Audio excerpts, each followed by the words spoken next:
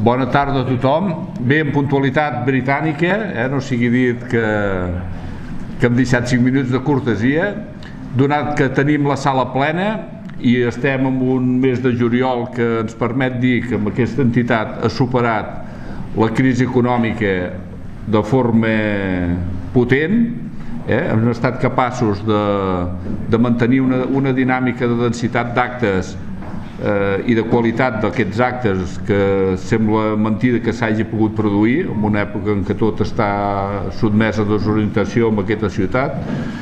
I jo crec que això és possible perquè hem sapigut comptar amb complicitats i amb saber-nos apropar amics d'aquesta casa, amics d'aquesta entitat, que a més a més de, de tindre estima per l'entitat, tenen capacitat, coneixements per poder oferir-se i oferir-se des d'un punt de vista de dignitat, de qualitat cultural, eh, de, de coneixement dels temes que s'han anat a tractar. I això ens permet doncs, tindre aquesta sensació tan agradable de tindre un mes de juliol que sembla un mes d'octubre o novembre, vull dir que hem omplert la sala, i bé, serà molt el mes d'agost no puguem anar a estiuejar doncs, amb algun mas de per aquesta rodalia on a vegades no puguem sortir. Bé, avui celebrem el 19, que és quan comença la guerra, perquè el 18 va ser el moment del cop d'estat, que va començar amb les tropes d'Àfrica, etc. Podem dir que el 19 és quan comença la guerra civil. Comencem amb un acte per recordar que ara fa 80 anys d'aquesta situació tràgica que va viure la nostra ciutat i el nostre país. Nosaltres, a l'entitat, al centre, ja vam organitzar amb motiu del 75 aniversari de la Guerra Civil un acte a la biblioteca un acte molt digne perquè a més a més vam recordar a la Regina Figuerola Rebull, la nostra bibliotecària que per endreçar els llibres de, de la biblioteca va, va morir d'una bomba amb un bombardeig, el primer bombardeig potent que va fer molt de mal a la ciutat, va caure una bomba al centre de lectura, ja ho vam recordar, però no només es vam limitar amb aquests actes com el d'avui o com el del 75è aniversari, sinó que la nostra entitat ha estat oberta a nombroses iniciatives, presentacions de llibres, o sigui, ara recordo que vam presentar un llibre sobre les defenses de Costa, eh, que vam parlar d'aquest militar del, del quarter del Mansa que es va passant tots els informes. La secció d'arqueologia i de ha organitzat un seminari durant tot aquest curs, molt interessant perquè s'ha parlat dels fets de la Fatarella, dels fets de, mà, dels fets de maig, s'ha parlat de, dels, del, del cop de Casado, vull dir, s'ha tocat tots els temes de manera, en, en un format de seminari, que ha permès als socis interessats doncs, poder mantenir un, una activitat constant, potser minoritària, però sí atractiva i una mica en el sentit que busca aquesta casa d'oferir possibilitats per, al, per la millora eh, intel·lectual i cultural dels, dels nostres socis. Ahir es va celebrar a Barcelona un acte important que és l'acte que es va fer al Palau de la Música recordant el, el, el darrer assaig abans de, de l'inauguració de l'Olimpiada Popular que no es va poder produir pel cop d'estat que dirigia en Pau Casals al, al Palau de la Música. I el conseller que porta el tema de, del Memorial Democràtic, el conseller Romeva, ens va fer un escrit amb aquesta entitat dient que si volíem afegir-nos amb una programació nacional de record del 80 aniversari de la Guerra Civil, de que, de, perquè surti de l'oblit que en aquests esdeveniments normalment s'han situat. Nosaltres ja teníem preparat i programat aquest acte i vam contestar de seguida que sí, que estàvem molt satisfets de poder col·laborar amb aquesta iniciativa, d'ajudar a omplir el cartell que s'està fent a tot Catalunya i a més a més eh, doncs tenim el goig d'haver posat el logotip d'aquest 80è aniversari doncs el nostre, el nostre cartell que per cert és un cartell d'una gran dignitat estètica perquè aprofita aprofita els, els números de la plaça del Mercadal que també va ser un lloc vinculat a la Guerra Civil perquè es van construir uns refugis importants Avui hem rebut una carta agraint-nos el, el poder haver fet servir el seu logotip, disculpant que avui és un dia que no pot venir, però ja el convidarem a que vingui un altre dels actes que realitzarem amb motiu d'aquest context de celebració i de record, sobretot de record d'aquest esdeveniment tan important a la nostra història com és la Guerra Civil. El dia 17 de setembre d'enguany ja tenim preparat un acte que el farem a la biblioteca on recorda que aquesta casa va rebre les conseqüències directes de la guerra amb, amb la bomba que va caure a la biblioteca que ja he dit abans que va, va costar la vida a la Regina Figuerola i farem un acte aquest any en, en col·laboració amb el Col·legi d'Advocats de Reus, que els hem convidat a que facin un Parlament sobre la situació actual dels drets humans i llavors doncs, també ho anunciarem oportunament i pot ser un acte potent i que pretenem doncs, que tingui continuïtat, ho vam parlar a la secció d'Història, a la secció de Ciències Socials i a la presidència de l'entitat i confiem doncs, que sigui un acte que es pugui reproduir cada any i cada any convidaríem alguna entitat perquè ens parli de temes rellevants, eh? no només des d'un punt de vista històric, sinó d'un punt de vista de la, de la realitat actual. I farem actes com hem fet abans de que esdevingués aquest 80 aniversari.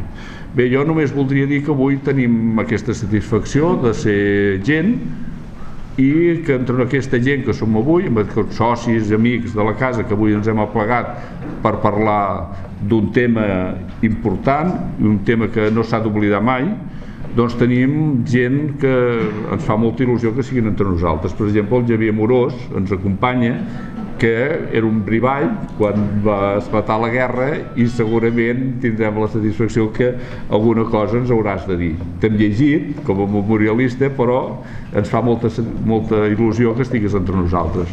Tenim el nostre president, eh? tenim el president d'Òmnium, l'Emili, eh? expresidents de la casa i amics del, del Pacte Nacional, que també ens han vingut, i bé, estem, estem molt contents. Jo no voldria dir res més del que he dit, només anunciar-vos que no farem una conferència clàssica, eh, o dos ponències clàssiques, perquè clar, hem parlat tan, tan sovint d'aquest tema i de tots els punts de vista, que, que fora doncs, potser reiterat per algú de vosaltres que tornem a fer una altra conferència. I llavors el que hem demanat el Jaume i el Joan és que ens facin com una pluja d'idees eh, i a partir d'aquí poder establir un, un mínim debat que ens permeti apropar-nos al que va ser la Guerra Civil a Reus i al nostre país, a nivell més general, eh, des de diferents punts de vista. Jo no vull presentar-vos a nivell de currículum, eh, el Jaume és el, Suposo que el, el fet de que el Jaume sigui ponent m'ha tocat a mi fer la presentació, jo sóc el president de la secció de, de Ciències Socials, és el president de la secció d'Història i estem una mica compinxats, sincerament. Llavors, doncs, d'alguna manera, doncs, com és un acte que fem des de la casa, des de gent de la casa i des de la qualitat que és capaç de fer aquesta casa, que és molta, doncs hem de repartit una mica els papers i per això m'han demanat que faci la presentació me tenen en bon concepte perquè treballem de manera molt conjunta i el Joan, doncs, el Joan Navàs doncs el mateix, una persona, doncs, historiador que és de la casa i que sovint ens ha col·laborat de forma desinteressada com ho fa avui. Jo abans de començar doncs, diré un dels temes que crec que estan oberts, eh, debats històrics oberts, que és el tema dels fets de maig. Eh? Jo crec que un dels temes que encara no està tancat, i doncs m'agradaria fins i tot entrar en polèmica, és doncs, si la revolució va ser traïda o si el fet de que no s'organitzés la, la defensa de la república de manera ordenada i doncs va, va, qui va tenir raó, per entendre's?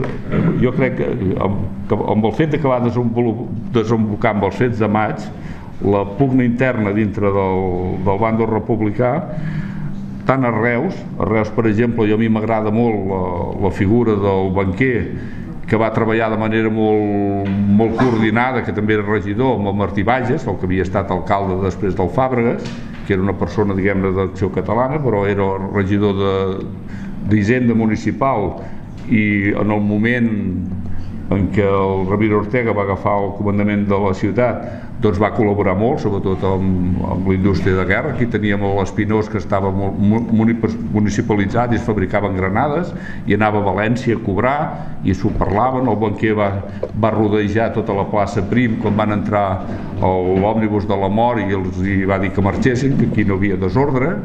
Va rodejar la plaça amb personal armat des dels els, els balcons del, del, de la plaça Prim, eh, van entrar on, on hi havia el, el círcul, que llavors estava incautat per l'UGT i el SUC, i els va fer marxar.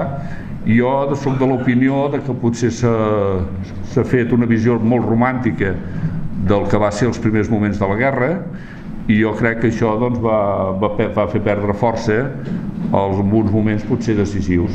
Hi ha altres temes importants com és la possibilitat d'obtenir armament. Eh? Jo me'n recordo una persona que tenia responsabilitats, el Celestí Martí, que m'explicava que van tenir que cremar motors d'avions que els, pel, pel pacte de no intervenció els hi van entrar quan ja estaven a Girona marxant cap a l'exili, els hi arribaven llavors els motors d'avions, és a dir, el, el problema d'armar-se per defensar la república va ser un, un problema real, hi ha d'altres, eh, el suport del feixisme internacional al, feixisme espanyol, però jo és un problema que el deixo obert i m'agradaria debatre'l. Jo no vull entretenir més, eh, moltes gràcies d'assistir a aquest acte important i donar la paraula al Jaume doncs, perquè ens faci la primera, la primera entrada amb el tema que avui ens convoca.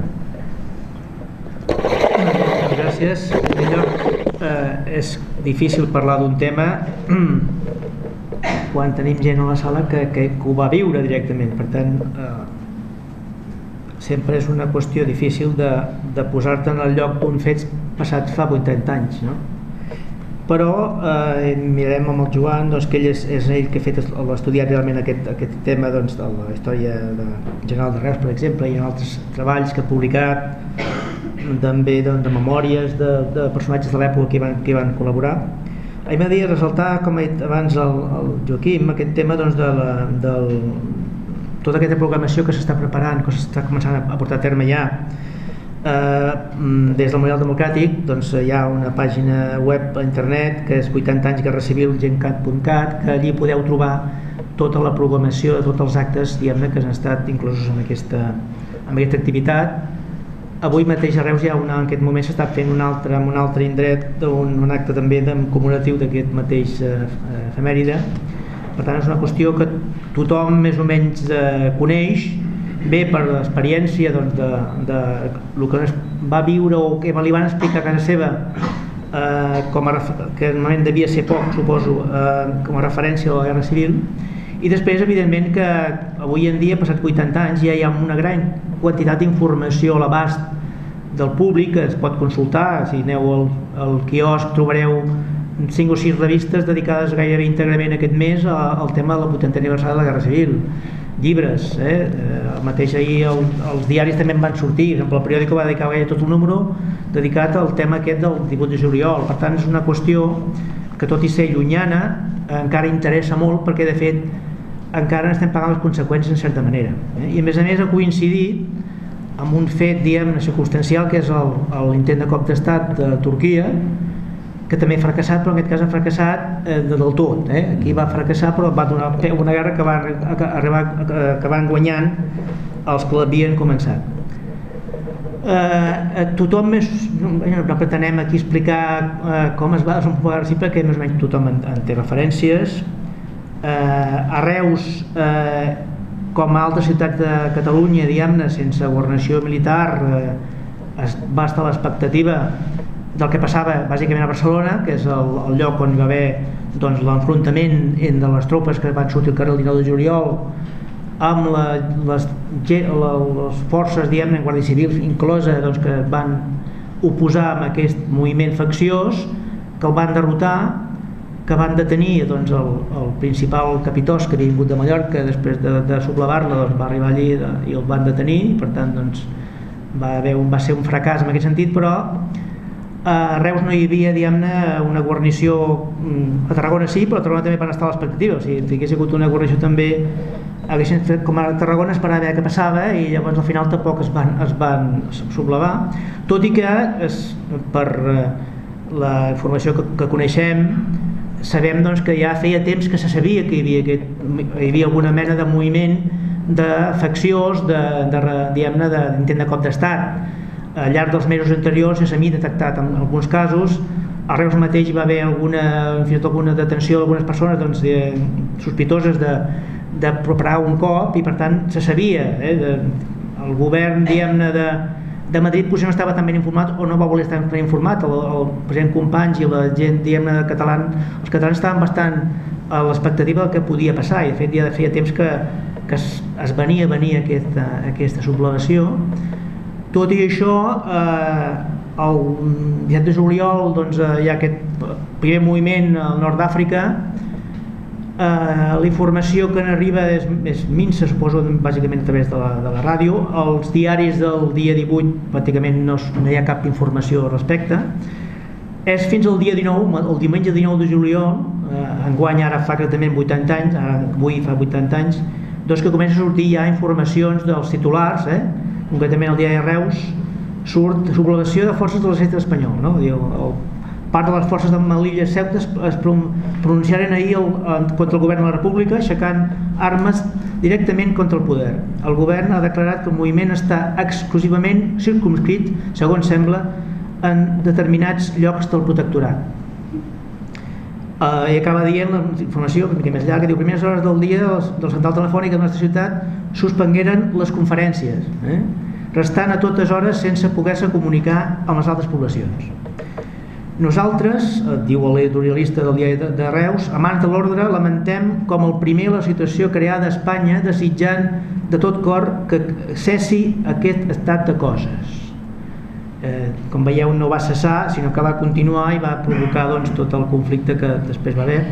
Eh, les situacions de, de Reus bàsicament és eh, l'expectativa que passava a Barcelona les notícies que arribaven a través de la ràdio i de informacions que podien arribar eh, més o menys de, directament des de Barcelona doncs van, van crear la, la, la resposta del, del, dels reusencs eh? va ser una mena d'acció complementària que passava a Barcelona això el Joan ho estudiat molt bé doncs que va haver grups que van assaltar les armeries de la, de la ciutat i van agafar totes les escopetes i tot el que van poder trobar a Barcelona els, els revolucionaris van poder entrar i ocupar-se doncs, uns quants milers de fusells, aquí doncs, va, la cosa va ser molt més eh, diguem-ne modesta, tot i així doncs, de seguida que van arribar informacions de, de Barcelona a partir del dia, el dia 20, el dia 21, doncs es va començar diguem-ne ja a haver fet, un, una situació més complicada. Eh, de seguida el mateix 21 de juliol ja, ja comença doncs, ja l'incendi de, de Sota de Misericòrdia de, del, del el Col·legi dels Padres, per exemple, tot un seguit d'edificis de, religiosos que són diguem que atacats o i destruïts i també que començarà diguem una, una mena de repressió eh, contra les persones que es, se sabia o que se pensava o que podien ser sospitoses de de facciosos de col·laboració amb aquests revolucionaris antigovernamentals eh, hi ha com tota mena de, de revolució sempre hi ha doncs, la, la gent diguem-ne que, que sense tenir culpa paguen les conseqüències començant per la, que la primera persona que va, que va patir les conseqüències de, de, de mort va ser una, una senyora d'una casa doncs, que els, els milicians li van dir que pugés les persianes i ella era sorda i no, no ho entenia i va, la van disparar i la van matar. O sigui, va ser diguem-ne un accident però diguem-ne que si no hagués hagut aquesta aquesta actitud revolucionària no hagués passat una cosa així, no? Però després ja es van detenir una sèrie de, de persones, diguem que sí, que evidentment que algunes d'elles doncs, se sap perfectament que, que està formant part diguem de la conxorxa per tal de rebel·lar-se. Hi ha alguns episodis també més o menys eh, diguem-ne gairebé de sainet, com el tema del guiu, que es vesteix d'una vella i va a la, al, entre, entre, entre eh, amb armament i amb unes granades amb un cistell i doncs el, el, el descobreixen, el persegueixen ell amb, amb, amb les faldilles corrent al final el maten. Hi ha una mica, a vegades són una mica els, les, els inicis d'un conflicte a vegades són diguem-ne, no, no es pot dir eh, eh, diguem-ne poc seriosos perquè no és un fet molt, molt, molt seriós aquest d'un conflicte, però a vegades són coses diguem-ne purament contradictòries a Barcelona, per exemple, la, la, em sembla que gairebé la primera, la, el primer centre religiós que es va, va ser diguem-ne assaltat eh, era, era, una, era un centre d'uns evangèlics protestants que quan van sortir dient no, escolta, això és un centre de protestant, no és catòlic. El, els mateixos que havien començat l'incendi el van ajudar a pagar amb els bombers però de seguida els, la gent revolucionària, doncs, les forces diguem que es van sentir agredides i que tenien, arma, que tenien armes a la mà doncs van actuar d'una manera diguem com, com hem vist per la televisió aquests dies doncs, amb els partidaris d'Erdogan que, que, que golpejaven els soldats que s'havien rendit no? una mica aquesta actitud diguem-ne de, de revenja de, immediata doncs, amb els mitjans que tens i de, i de la manera més immediata que pots actuar uh, a, a Barcelona mateix doncs, hi va haver doncs, molts, molt, molts morts aquí va costar una mica més, però de seguida que eh, van, va, es van restablir les comunicacions, com abans que el diari comentava doncs, que, que el, durant el, el diumenge de juliol s'havien tallat les comunicacions telefòniques, suposo per controlar, per poder controlar doncs, eh, que no hi hagués comunicacions doncs, per aixecar doncs, els diferents això, els pobles de la Rodalia també van estar una mica també amatents al que passava doncs, a les ciutats més importants, a Tarragona, a Reus, etc i de fet el, eh, era una mica gairebé el que passava a Barcelona, després passava a les ciutats importants i després passava als, als, als, la Rodalia. I ja eh, durant la primera setmana de juliol doncs, van, es van succeir tot, tot un, un seguit de fets eh, bàsicament eh, doncs, d'agressió contra el, els estaments religiosos que, és, que es van identificar molt ràpidament o van ser eh, atribuïts molt ràpidament a la gent diguem-ne de eh, religiós, els, els eclesiàstics bàsicament, per un seguit d'experiències de, anteriors, bàsicament doncs, que havien mm, durant la, la, el, el que portàvem la República Uh, per exemple, doncs, el govern del Bieni Negre, doncs, el govern de la CEDA eren, eren gent catòlica i van, van, van eliminar, van suprimir tot un seguit d'intents de, de reforma agrària i de reforma eh, laboral importants que això ho van suprimir només arribar al poder. Uh, des de les trones de moltes esglésies es va demanar el vot per les dretes i contra el, el, el Front Popular.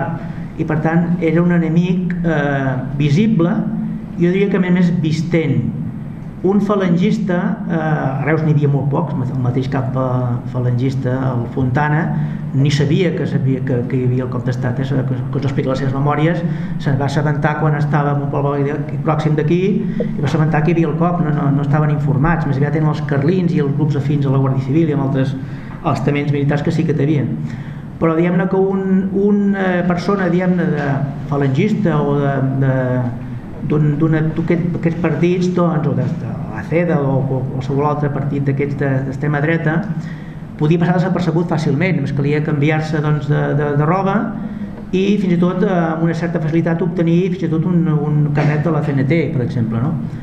En canvi un capellà es veu, es veu d'una hora lluny que era en capellà, eh? amb la seva coroneta, gros, eh? amb la manera de caminar, les mans que no havien treballat mai, per tant van ser els que van pagar diguem les conseqüències de la, de, de la reacció eh, revolucionària, van ser bàsicament els elements eclesiàstics i després també el, els edificis, els edificis que, que és una part que he estudiat una mica més d'atenció, eh, què més vist en un poble que l'església no hi ha res més existent no? i per tant doncs, eh, això no és un fet eh, únicament de la Guerra Civil del 1936 sinó que havia passat abans, el 1835 el moment revolucionari que va haver també el primer que van fer aquí a Reus van ser anar a cremar el convent dels, dels, dels franciscans eh? I per tant doncs, ja eren fets que venien d'una tradició diguem republicana a la, a la setmana de, tràgica de Barcelona també es van cremar un munt de temples eh? no, no és un fet únicament la reacció popular eh, antieclesiàstica un fet de la Guerra Civil, sinó que és una cosa que es venia arrastrant i per una sèrie de, no diré de, de, de raons, sinó de, de fets concrets que venien a, diguem-ne, no a, a, a, a justificar, sinó diguem-ne, a, a, a entendre per què passar, van passar aquests fets, diguem-ne, eh, sobretot de, de repressió eh, republicana anticlerical, bàsicament. Això els hi va anar, va anar molt bé, molt bé, molt bé els revolucionaris, els que havien s'havien rebotat contra el govern. Sublevats, sublevats. Sublevats, eh, els facciosos que deia la premsa, eh? Perquè al principi si veieu els bans que fan eh, doncs, en Melilla i altres llocs d'aquí són uns bans que acaben dient visca la república fins i tot, no? alguns d'ells, i no, no parlen per res de l'Església. És després, quan arriben notícies doncs, que hi ha hagut aquests uh, atemptats, aquests, uh, aquestes destruccions doncs, de, de, de l'esglésies, etc., que el, aquests, aquests facciosos s'apropien d'aquest tema i fan servir com a, com a element de propaganda antirepublicana. Eh?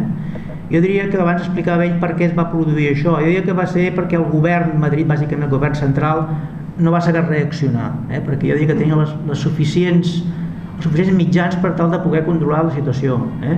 Penseu que les forces bàsicament de el primer que se subleven al nord d'Àfrica s'haguessin pogut aïllar completament en canvi doncs, es va deixar que passessin a la, a la península per mitjans de diferents vols de, amb, amb avions contractats per, per, per gent de dreta i per elements també doncs, eh, eh estrangers i de fet el, el, el, el, el perill més pròxim era la, la, la, la revolta que havia fet el general Mola a la zona de Navarra i que de seguida va, es va anar estenent cap aquí no?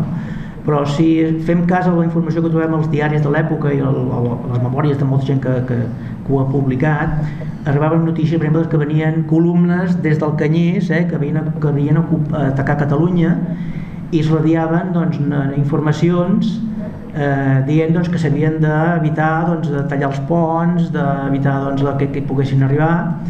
Eren notícies, diguem-ne, sense cap, cap, eh, cap raó concreta, no eren eh, falses, però que a la gent que estava ja exaltada li van provocar que fessin accions tan grotesques com, per exemple, doncs, un grup de milicians de, del Vendrell doncs, va intentar volar l'Art de Barà.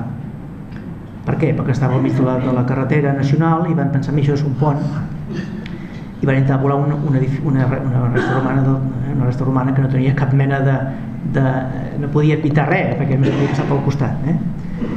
Per tant hi ha vegades aquestes informacions d'aquell moment eh? la gent que vas també he sentit a vegades eh, de gent que, que eren joves quan va produir-se aquests fets el 18, 19, 20 de juliol que diuen que ja deien, ja és la guerra civil no, la guerra civil eh, va tardar una mica a ser conscient que hi havia una guerra eh? al principi eren aquests moviments de sublevació, el govern en lloc d'actuar d'una manera eh, dràstica i ràpida doncs va començar, eh, van, van canviar de govern dues vegades el, el, el, el que van nomenar president del el primer ministre va dimitir al cap de poques hores l'altre doncs, va llicenciar els soldats. En lloc de dir no, rebel·leu-vos contra els, vots, els vostres caps que, que us, us manen atacar la república no, no, els va llicenciar coses d'aquestes així que dius que des de, veient com van anar a la guerra doncs veiem que realment és, va ser un error de, dels, dels dirigents republicans bàsicament els dirigents republicans de, de espanyols eh? de fet això no ho van només pagar ells ho va pagar tota la resta del, del país perquè si, si veieu el, els, els diferents mapes que es van publicar a mesura doncs, que va avançant el que ja serà la guerra eh? doncs els, reductes diguem que van obtenir, que van triomfar eh, contra la república eren limitats, eh, eren centralitzats bàsicament a la zona nord d'Espanya, a la zona de Navarra, i després a partir que van fer aquest pont aeri van, atac, van conquerir Sevilla, però eren molt limitats, la major part del, del, de, de, de l'estat era, era de, republicà. A Madrid van perdre també, el, el, cop, el cop van, van ser suprimits.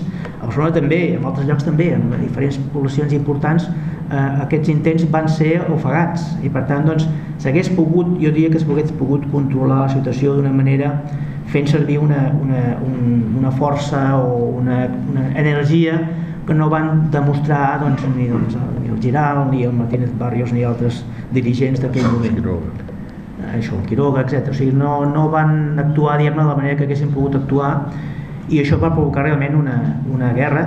Eh, els, els, els sublevats, els facciosos, els rebels, com ho vulguem dir, doncs eh, de seguida van poder comptar amb una ajuda internacional important, bàsicament doncs, de, eh, d'Itàlia, l'Itàlia feixista, de Mussolini, també del, de, de, de l'Alemanya de nazi, de, de, de Hitler, i en canvi els republicans van trobar molt aviat doncs, que les, els països democràtics no van eh, ajudar a la república, al revés, van, van fer una mena de pacte de no intervenció que el que feia en realitat era impedir que la, que, el, que la república es pogués eh, eh rearmar i pogués tindre a manera d'actuar contra aquest, aquest exèrcit revelat i per tant el que van fer va ser facilitar la victòria franquista. Eh? això és molt important també, que s'ha de tenir en compte que no només la poca habilitat del govern republicà, sinó també la manca d'una col·laboració internacional eh, diguem-ne, favorable amb un govern legalment establert com era el govern de la República. Eh?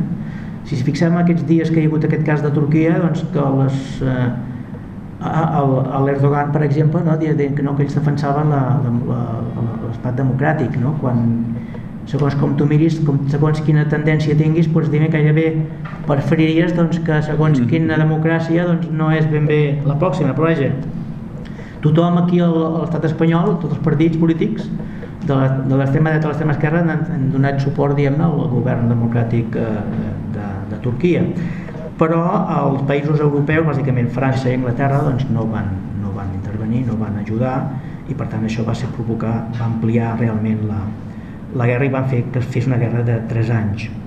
El, eh, els diaris del moment de Reus doncs, va, va haver uns dies que no van sortir, no van, no van sortir publicats. El, primer, el mateix diari de Reus doncs, va fins 10 dies després no va sortir el segon número de, de, dia 29 de juliol, el número següent, eh, doncs, dies després, el titular és La militarada insensata i criminal i una notícia secundària, el, el subtítol és s'han constituït els comitès de les milícies antifeixistes. Eh? Això la reacció revolucionària va ser crear aquests comitès de milícies antifeixistes en cada poble, destituint o, o, o ocupant l'Ajuntament corresponent i van ser aquests, aquests eh, forces diguem-ne de, eh, republicanes eh, doncs els que van dominar la situació a nivell municipal. Eh? Eh, doncs això, aquí és la, la, mateixa, la mateixa informació del diari de Reus doncs, que s'havien diu, la, a la nostra ciutat pot ben dir-se res de normal va ocórrer fins al dilluns a la tarda, és a dir, fins al dia 20. En Ciclona Nova que venia una columna facciosa del Canyís en direcció a Barcelona i que faria nit a Reus al saber-se aquesta nova, els ànims del poble s'excitaren, concentrant-se les entitats polítiques d'esquerra i obreres, gran nombre de ciutadans per tal d'organitzar-se i plantar cal al feixisme criminal que ja se sabia que s'havia aixecat en armes contra la República en diverses poblacions d'Espanya, entre elles Saragossa i Barcelona. Ràpidament es reunia el Front Popular per tal d'organitzar les forces a oposar al feixisme. Dimarts, el dia 22, El dia 21, perdó, els ànims estaven eh, més excitats encara per les noves que es rebien d'altres poblacions on els sublevats cometien molts crims i atropells a les persones dels republicans i començaren a cremar els edificis dels convents i esglésies. Alguns capellans foren morts, així com el que era el comandant militar l'octubre del 1934, senyor Cuervo, i el que havia estat cap d'acció catalana, senyor Navarro foren practicats escorcolls a alguns edificis de coneguts reaccionaris que havien desaparegut ja de la nostra ciutat. Els dies successius han continuat els fets, resultant alguns morts més, entre ells l'arquitecte senyor Caselles. La vaga va donar-se per acabar el diumenge 26 i un comitè de vestiments de la ciutat ha cuidat que no faltessin subsistències a Reus. Dels pobles de la comarca reben noves que les esglésies també han estat cremades i hi ha hagut topades resultants algunes víctimes. Per tant, la informació que se tenia, eh, com veieu, és una mica de barreja de tots, però ja se donen com informacions concretes de les conseqüències, diguem-ne, de la reacció eh, d'aquest cop militar que va provocar. Penseu que eh, molta, eh, les, el, molta gent, eh, bàsicament, la, guàrdies civils, eh, policies, eh, soldats, molts d'ells van ser cridats a Barcelona i per tant els, els pobles, els nuclis de població van quedar diguem, sense defensa de possible davant de qualsevol. Una persona que tingués un, una escopeta es podia fer amb mateixa la situació, no, no tenia cap oposició, no hi havia cap, cap mosso d'esquadra, cap guàrdia civil o cap, eh, o cap, cap mm, eh, guàrdia de la república que es pogués posar, per tant eh, ho van trobar molt fàcil per poder actuar d'aquesta manera.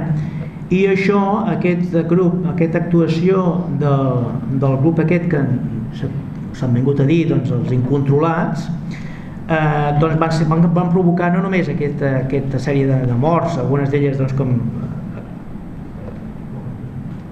accidentals, diguem-ne, més o menys eh, confusives, com aquesta la senyora aquesta que és sorda, però també morts hi ha personatges ja, com he dit abans, llegia aquí també, de persones ja totalment vinculades, com per exemple, doncs, com he dit abans, la persona que, es va, que va actuar aquí en el, el fet d'octubre del 34, que encara ho recordava, I després van ser aquests, eh, aquests atacs a la, a la, a la, bàsicament a l'Església que va ser que van provocar la destrucció patrimonial d'un seguit de, de, de caràcter artístic i històric, però també, la, en aquest cas, la Generalitat Republicana va actuar amb una gran rapidesa també, eh, fent una, eh, sobrepassant la seva eh, competència legal, eh, el curs d'autonomia tenia una sèrie de, d'opcions a la Generalitat per poder actuar en segons circumstàncies, en aquest cas no estava previst, evidentment, no estava previst que hi hagués un, un cop d'estat, eh, un cop militar, hi hagués una guerra, i per tant la Generalitat va actuar de gairebé com a, com, a, com a govern independent. Durant uns quants mesos Catalunya, diguem-ne, que podia,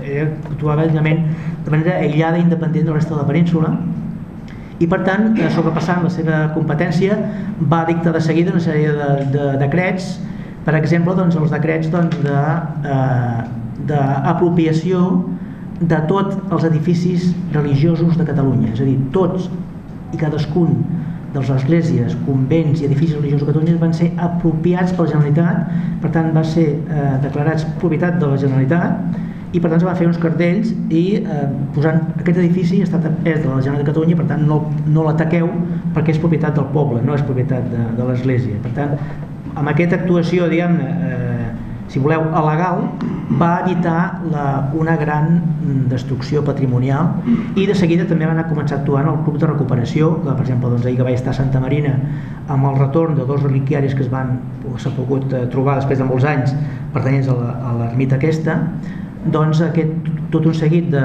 de, de persones doncs, van poder recuperar molts elements patrimonials que havien, que havien romàs eh, sense afectar-se als primers dies de la revolució eh, contra eh, feixista, antifeixista i van, es va poder fer realment una, una tasca importantíssima. Eh? Això, aquesta tasca de salvament, de recuperació, de defensa d'elements patrimonials i també de persones, penseu que tant la Generalitat també va actuar de manera intensa i activa i eficaç moltes vegades de poder salvar vides de moltes persones de molt religiosos, començant pel mateix cardenal Vidal Barraquer, eh, que el mateix del company va fer una ordre que va haver d'enviar a mà perquè no se en el comitè antifeixista de Montblanc i va, per poder alliberar el cardenal i va poder marxar.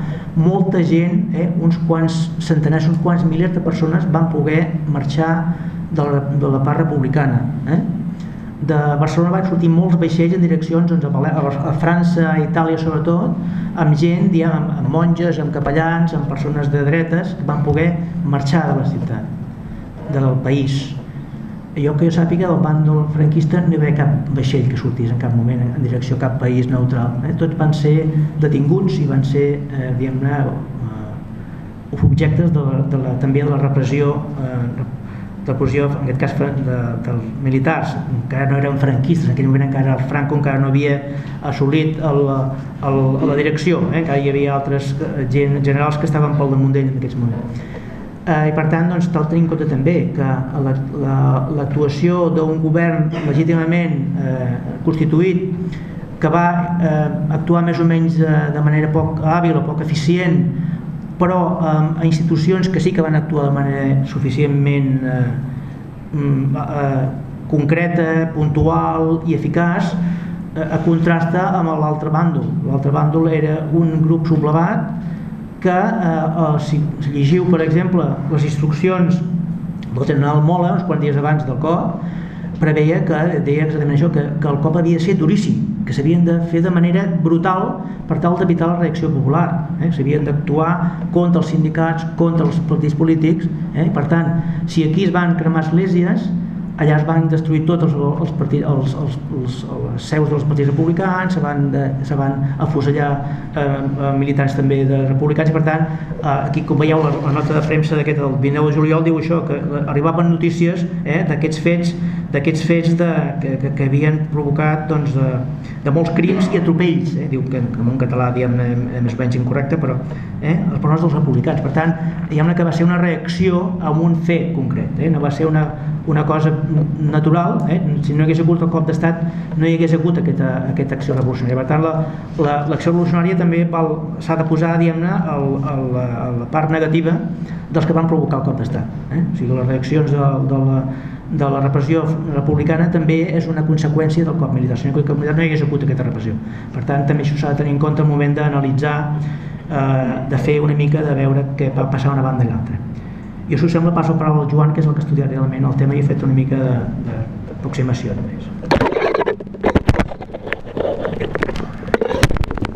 Gràcies, Jaume.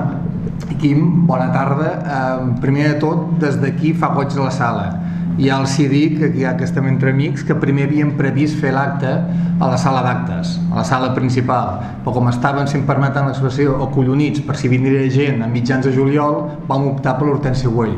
Vull dir que jo vull que aquest acte és una mostra que la ciutat culturalment està viva i això s'ha de, de celebrar. Um, faré 5 o 6 o 7 reflexions, um, sí, si es van girant veuran que està plena, eh? és que des d'aquí es va la, la perspectiva.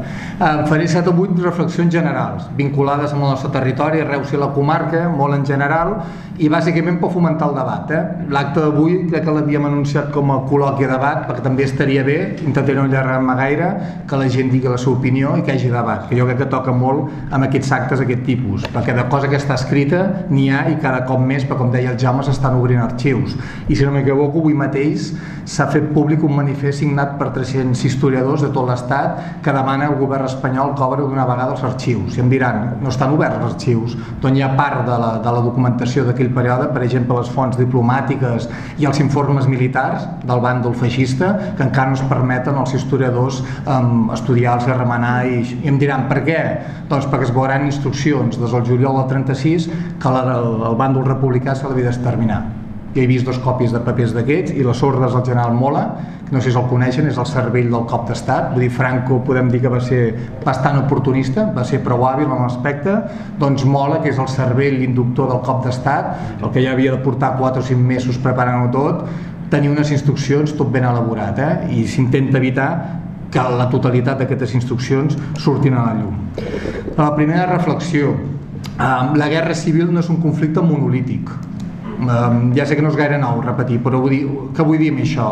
Que no hem de veure com dos bàndols, simplement no és un enfrontament en dos bàndols, eh? ni, ni els bons els dolents, ni els feixistes els republicans. Això és obvi.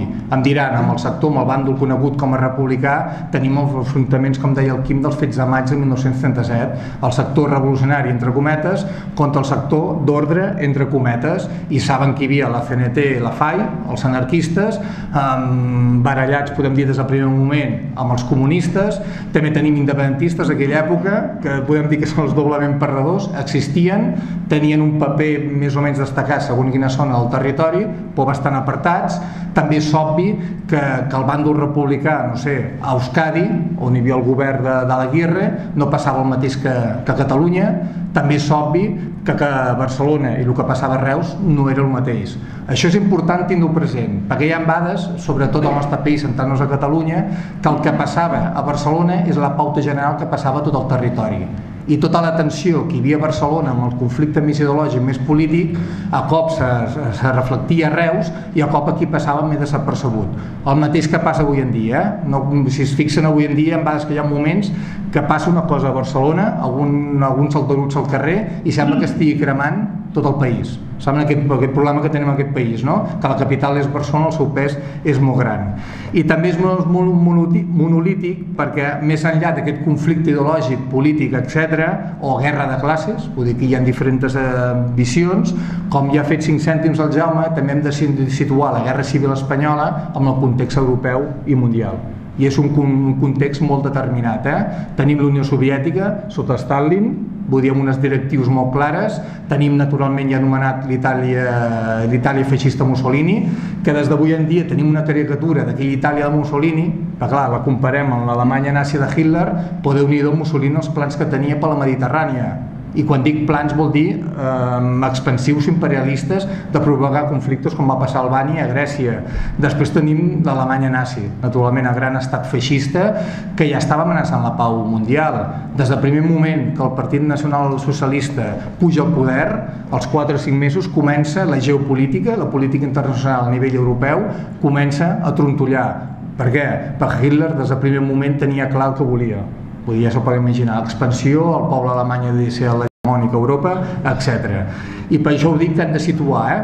D'aquí ve aquest, eh, el paper vergonyant que ja ha anomenat el Jaume de les democràcies entre cometes europees, sobretot la francesa, que és més greu perquè hi havia un govern teòricament d'esquerres, i la britànica, bàsicament el que volien fer és no emprenyar Hitler. Vull dir, no volien emprenyar Hitler. Tenien por de Stalin, de Hitler, que van fer? Doncs optem per què? Aïllem el problema espanyol, que sigui un afer intern, els hi sona, no?, aquesta política, vull dir, l'afer intern, vull dir, se repeteix constantment durant la història i ho van pagar amb escreix. Una altra reflexió, um, avui o ahir o aquests últims dies, com anaven arribant els actes de les diferents commemoracions que ha fet arreu del país, um, els anat agrupant en dues tendències. Eh? Això està passant últimament en els últims anys. N'hi ha d'una banda els actes que enalteixen la revolució, aquest procés revolucionari que es va viure a Catalunya a partir del, de l'estiu del 1936, jo crec que va assistir, la revolució, um, l'enalteixen, una visió romàntica, potser com ha dit el Quim, i s'obliden de l'aspecte bèl·lic, vull dir que la revolució es va produir en un context de guerra i naturalment se pot imaginar que això és, és, no, superimportant, és que és el paper protagonista. I de l'altra banda hi ha els actes o els sectors que menys pren o menys tenen aquest procés revolucionari que va tindre la seva importància i només se centren en l'aspecte del conflicte bèl·lic. Jo crec que ni un ni l'altre vull dir, s'ha de buscar el terme mig. Um, perquè s'ha de tenir en compte un, un element.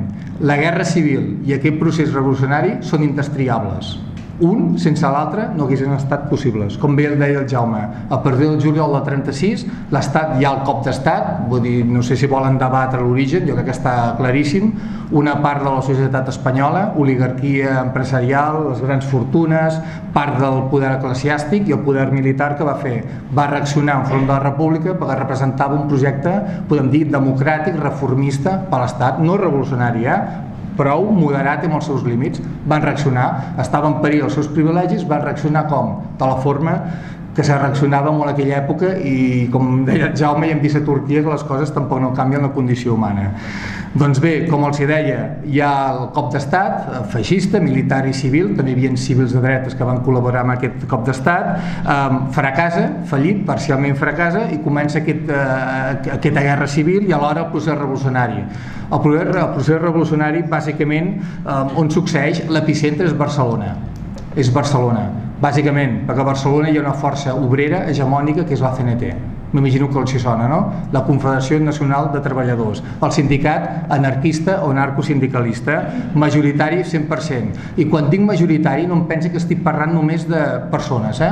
de militants. Eren 5.000, 300.000, 400.000. Pensin que és un sindicat que portava crec que es va crear el 1911, si ja no m'equivoco, però la tradició anarquista a Catalunya tenia 80-90 anys i quan parlo de tradició m'estic referint que tenien els seus màrtirs, les famílies que ja portaven 3 o 4 generacions sent anarquistes, tenien sindicats, tenien centres culturals, tenien ateneus, era com un teixit. Pensa que estem parlant una època que no havia l'estat del benestar com entenem avui en dia. Em diran que avui està en perill, totalment d'acord, però aquella època la situació econòmica i social per la part de, pel, pels treballadors i per la societat, podem dir, més popular, era una situació molt, molt precària. I la reacció quina era? Defensiva. Les idees anarquistes. I per què ho dic això? Perquè fa fallida l'estat republicà i aquesta força hegemònica, hegemònica entre, entre cometes, eh, com els deia, pren un paper protagonista, no pren el poder. Després ja faré la reflexió i aquest paper que agafa aquesta força revolucionària, l'anarquista, fa possible que s'obri aquest procés revolucionari. I abans deia aquests elements indestriables. Si mirem al llarg de la història, en veurem com la guerra i les revolucions van sempre de la mà. I el primer exemple, Estats Units d'Amèrica. Estats Units, com a estat, se crea a final del segle XVIII, d'on neix Estats Units d'Amèrica. I és, de fet és una, com una revolució, eh? de les idees liberals, etc. Neix en un conflicte és les colònies eh, ex-britàniques se revolten contra la metròpolis.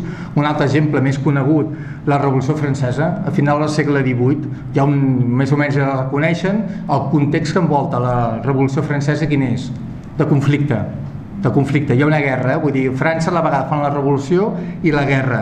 Un altre exemple més conegut, Rússia, la, la revolució bolxevic, l'any vinent se celebra el centenari, amb Lenin, etc., els bolxevics prenen el poder, comencen la seva revolució, la construcció de l'estat soviètic en un context també de conflicte. Ja veuen com és indestriable. I si volen un exemple més recent, hem parlat de Turquia, ara mateix el Kurdistan, el si sona, no? el Kurdistan, la nació més important, la nació sense estat més important del món, doncs ara mateix Síria, com saben, és un estat que també està en un conflicte. Ui.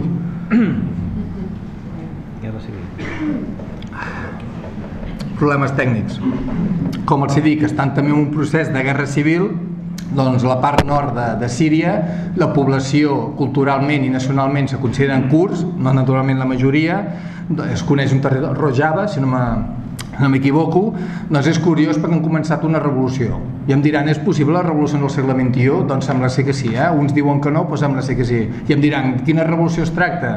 Doncs una revolució que fan, per exemple, estan donant a l'educació una gran importància i en un lloc que l'educació era ínfima, per exemple amb el tema de la igualtat de sexes, el Pròxim Orient és un territori complicat en aquest aspecte, doncs ara mateix el Kurdistan, o aquesta part del Kurdistan, les dones tenen igualtat de drets amb els homes. I per exemple, amb la presidència del centre de lectura, si allà hi assistís al centre de lectura, hi hauria un president i una presidenta ja veuen, eh? fan una dualitat de càrrecs, quines coses. I el curiós, vinculant amb el tema que parlem avui en dia, que avui mateix estan celebrant actes commemoratius de la Guerra Civil Espanyola i de l'inici del procés revolucionari al Kurdistan. M'han enviat dos vídeos, ja veuen eh? com lliguen la, amb els temes. Una altra reflexió, Uh, i s'ha de tindre present per entendre per ser el tema més polèmic, com deia el Jaume, que és de la violència revolucionària. Um, la revolució esclata i de fet la república pot aguantar el cop feixista perquè hi ha, podem dir, una hegemonia militar als carrers que no és l'exèrcit ni la policia. És així de clar. Vull dir, l'Estat perd el monopoli de la, de, la, de la violència, com es coneix, de la força, i molts treballadors i militants, naturalment els més actius, més polititzats, de les forces esquerres i de les forces revolucionàries obreres, prenen les armes. És així de simple. Vull dir, prenen les armes comencen a incautar automòbils eh, i surten al carrer. És a dir, és una ocupació de l'espai públic dient, ei, som nosaltres, estem dominant, controlem el, el territori. I d'aquí, i lligant el que va succeir a Reus, que un dels primers episodis d'aquesta revolució a Reus, que l'hem de desmarcar com es diferenciar molt del que va passar a Barcelona, és com deia el Jaume, que ja ho ha notat el Jaume, és que els militants les forces d'esquerres i obreres assalten les armeries de la ciutat i perquè les assalten il·legalment, perquè volen robar, per aconseguir armes. I per què? Per ocupar l'espai públic. És a dir, vull dir que tenim en present que tot el que estem parlant en un context de guerra i amb violència entremig, i això tothom ho sap que quan hi ha violència entremig, el pitjor de lo pitjor surt de les persones. Amb una altra reflexió, d'aquesta revolució, procés revolucionària, de procés revolucionari, des de les veus que sempre desqualifiquen, o el menyspren, o el menystenen, o l'obliden, sempre el pretext que utilitzen quin és? La violència la part més dolenta d'aquest estiu del 1936. Va haver un gran esclat de violència, una violència, com deia també el Jaume, dirigida cap als edificis eclesiàstics, vull dir, molt visibles, vull dir, com un símbol del, era un símbol del poder, contra les persones també que propietaris, contra els terratinents, eh, també contra gent de dretes, gent que sabia diferenciar, vull dir, gent que portava anys vull dir, demostrant que eren de dretes, legítimament, etc. A més d'aquesta violència revolucionària que sempre tothom diu que van ser obra dels incontrolats. M'imagino que han sentit aquest terme incontrolats. Doncs hi ha pocs estudis sobre això de les patrulles de control incontrolats. N'hi ha un del Joan Casanovas, publicat fa uns anys a Barcelona, que, que entrevista un parell de membres, que un anònimament, l'altre diu el nom, vull dir, amb valentia, parla de, de tot el que va fer, vull dir, tota la violència dels assassinats, etc. I l'home diu que, que els que van cometre els assassinats sí que hi havia anarquistes, perquè sembla que la història del nostre país la CNT la fa i siguin els dolents, vull dir, aquí venen, naturalment hi havia gent dolenta com a tot arreu, però hi havia anarquistes i també hi havia republicans que van cometre assassinats, militants republicans. I també hi va haver comunistes que van fer assassinats, etc. I bàsicament per què? Els historiadors tenim l'obligació que quan narrem els fets um, s'ha d'explicar aquests fets, els podem condemnar, naturalment, èticament tota la violència és condemnable, 100%, um, però hem de fer una pregunta. El per què d'aquesta violència. Jo que el Jaume ja ha començat a dibuixar per on van els trets, um, els, mai més hem dit, els trets. Um, um, els recomano un llibre, els hi faig, també els hi faré 5 cèntims, però recomano un llibre. Va sortir fa 3 o 4 anys d'un professor que es diu Javier Díaz. eh, molt bon professor, eh, molt vinculat a moviments socials, surt a la ràdio de tant en tant, vull dir, les seves opinions. Si no m'equivoco, és catedràtic d'Història Contemporània a la Universitat Ramon Llull eh, i també que té el doctorat a l'Autònoma, etc. És de, és de Girona. El llibre es diu Venjança de classe. Causes profundes de la violència revolucionària a Catalunya el 1936 doncs aquesta pregunta que els hi plantejava, el per què de tot aquest assassinat, de tota aquesta destrucció, doncs jo crec que el Javier Díaz mm, pot ser que no té de la raó absoluta, jo crec que no la té ningú, però sí que deix caure 5 o 5 hipòtesis que val la pena. I bàsicament, resumint-ho, eh, a veure, eh, el primer objectiu, les esglésies, ell diu que hi ha dos tipus de violències, diferencia dues, dues la, violència global en dues, en dos, en dos tipus. Una més simbòlica, que seria, per exemple, aquesta, d'anar cap a l'església, de destrossar el, que sabien que era patrimoni també històric.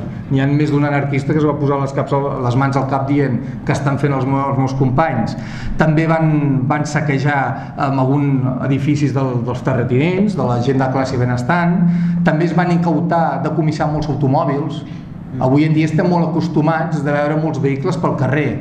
A la Catalunya, als, a Reus, als anys 30, l'automòbil no abundaven gaire. No era un element com el tenim tan, tan, tan quotidià. N'hi havia, però no tants. I molta gent el tenia el concepte que l'automòbil que era un privilegi per una minoria. I si han llegit, m'imagino que sí, George Orwell, el seu gran llibre, Homenatge a Catalunya, crec que va ser el primer llibre que vaig llegir de la Guerra Civil, aquí podíem debatre si té raó, si idealitza, etc. Vull dir, el, el debat seria llarg.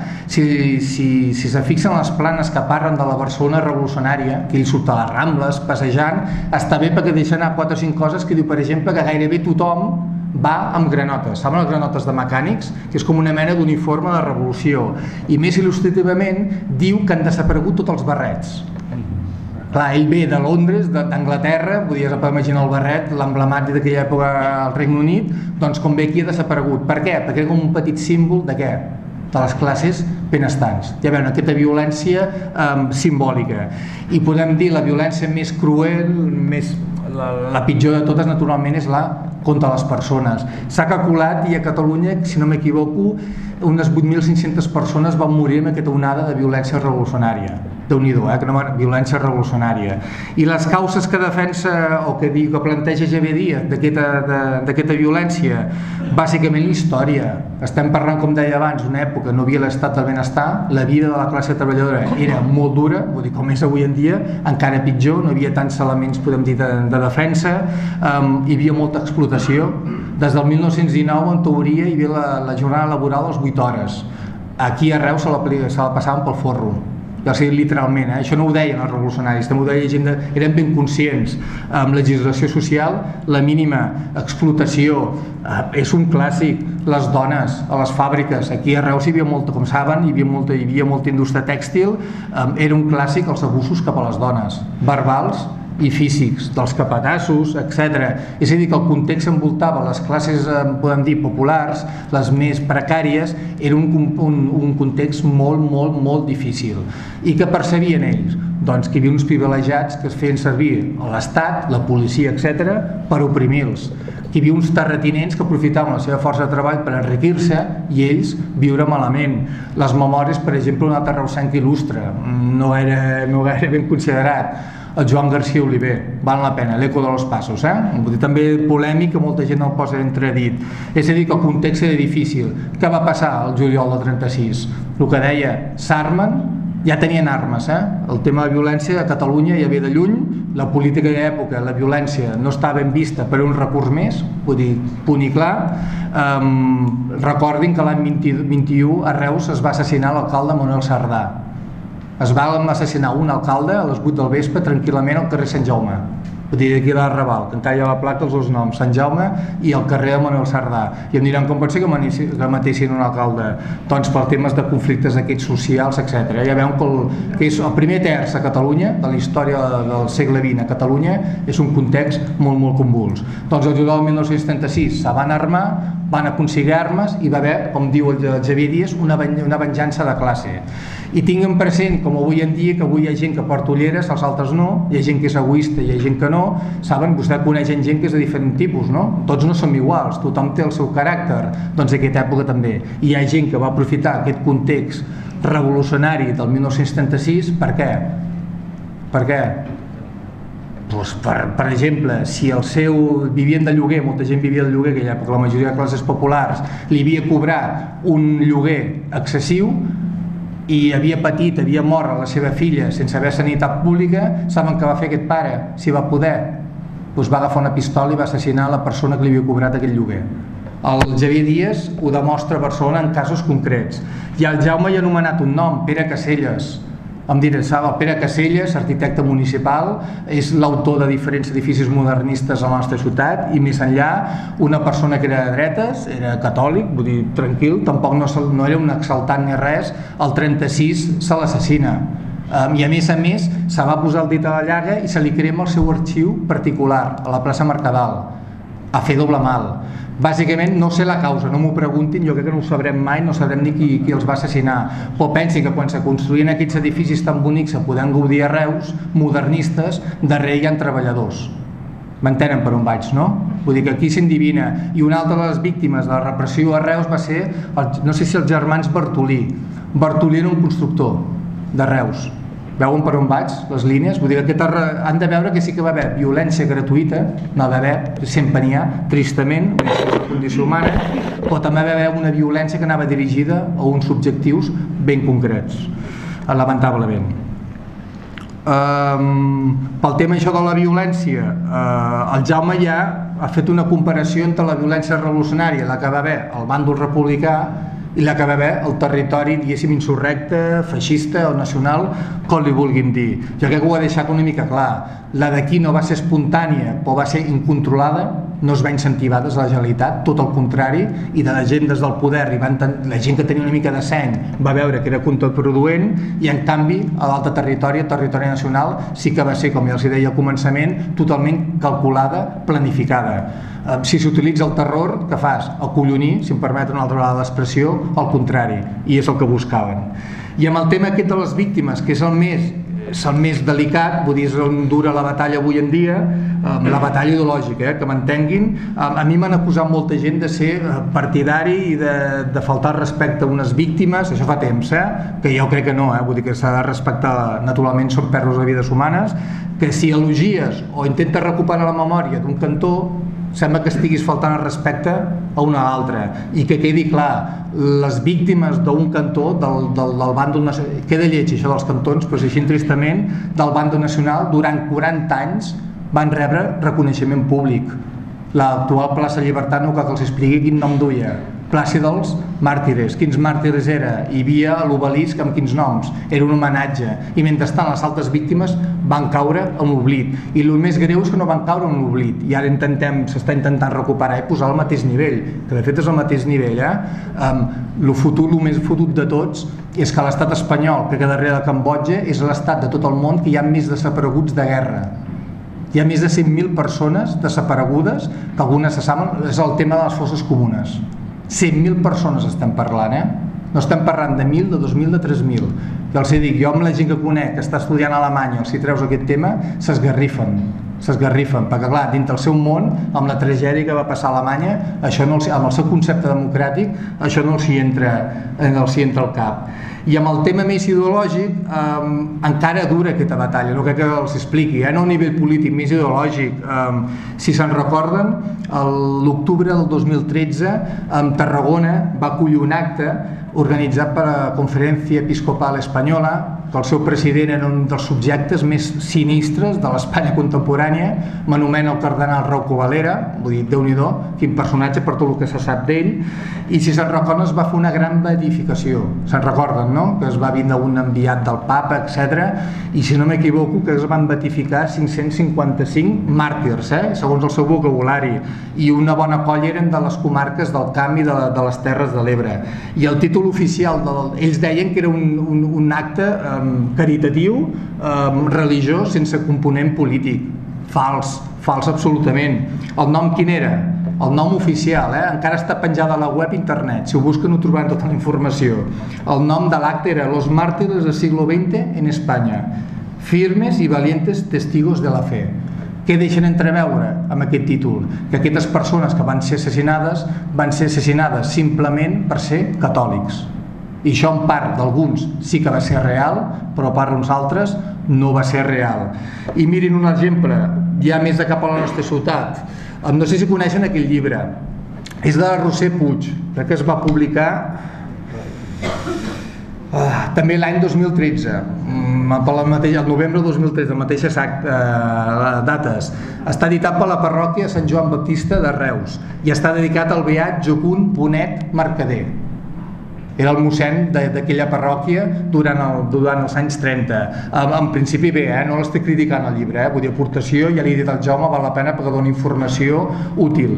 Però és curiós, perquè si te'l te llegeixes, si ara el Jaume i jo fem un acte i comencéssim a parlar un llibre dels, de les víctimes de Franco com a màrtirs de la llibertat, ràpidament que ens dirien que estem polititzant el debat.